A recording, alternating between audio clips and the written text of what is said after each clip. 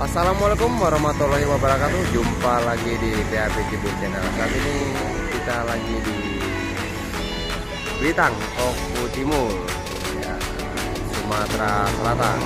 Tepatnya di Pul Almira di DK Selatan Nih teman-teman untuk semua di mana pun kalian berada ya.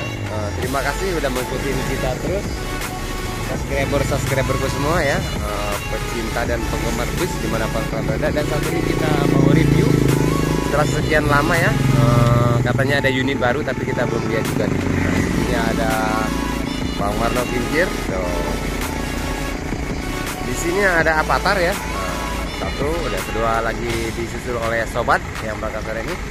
Dan big busnya yang akan diberangkatkan uh, pagi ini Duta Banten ya. Duta Banten dan di, dan di situ juga ada unit baru ya dan di sini. Ada Sobat Kata-kata dulu untuk hari ini. Utamakan selamat, utamakan janda. Mantap.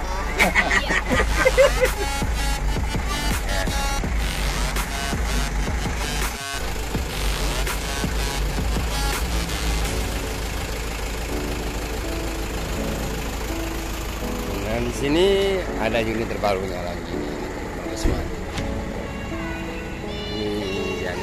Barunya tapi belum jalan ya. Ini masih nanti kita buat ke mana-mananya. Kita belum tahu. Di sini kita rekam kita dan di sini lagi ini ada mana pinggirnya dan di sini pasukan tempurnya. Oke sobat. Ini yang oke teman-teman nah, mungkin teman-teman penasaran ya. Di sini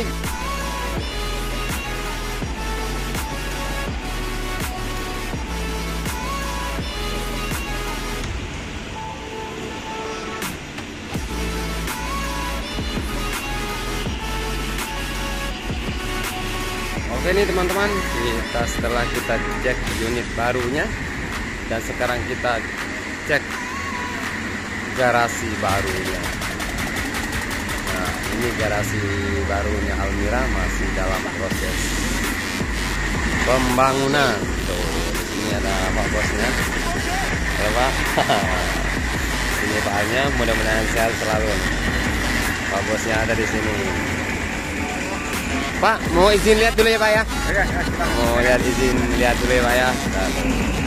Ini beliau nih bosnya nih. Pak ya. Nah ini kondisi terbang uh, suasana terbaru saat ini. Ini adalah bakal calon garasi barunya Almira nih ya.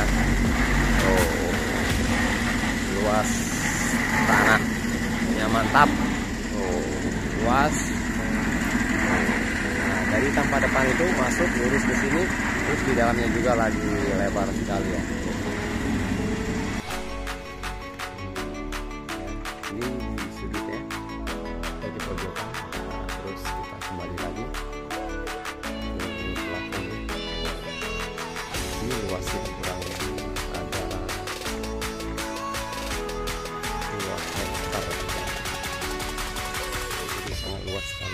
kembali ke depan lagi.